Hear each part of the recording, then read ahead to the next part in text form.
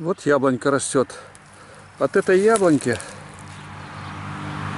корень пущен, и от него идет поросль. Вот я показываю наглядно. Вот корневой корень идет. И от этого корня поросль появляется.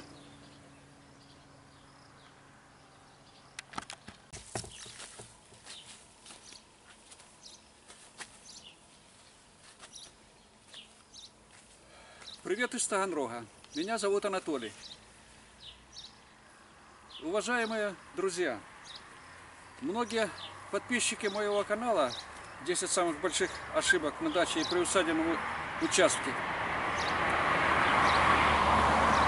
задают вопросы и интересуются, как бороться с порослью. Вот многие берут, тяпкой вырубают ее. Сверху вырубили, а через э, пару недель появилась опять. На этом же месте опять появляется поросль. Значит, как сделать так, не допустить ошибок, чтобы сделать так, чтобы поросль больше не появлялась. Для этого необходимо, вот я уже предварительно докопался до, до, до самого корешка, от которого идет поросль.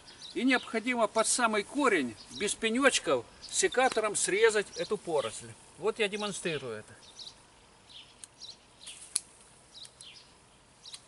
Вот я срезал эту корень, поросль под самый корень. После этого мы бе- мы берем это место земелькой заравниваем.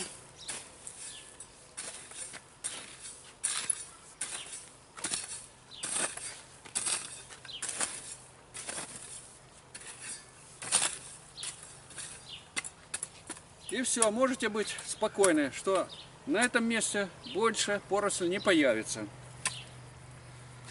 Уважаемые друзья, если вас еще будут какие-то вопросы интересовать, э, в комментариях задавайте вопросы, я буду стараться отвечать, искать э, в справочниках, литературе, в советах других дачников и буду вам давать ответы на поставленные вопросы. Пока, всем удачи!